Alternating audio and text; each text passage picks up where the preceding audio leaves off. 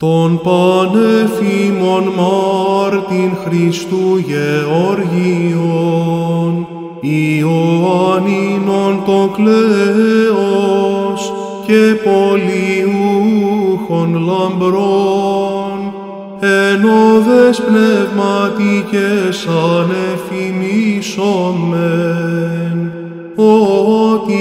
ενήθλησες θερός, και κατήνεν είναι εχθρών του πνεύματος τη δυνάμει και νυν απαύστος πρεσβεύει ελεηθήνε τας ψυχάς ημών.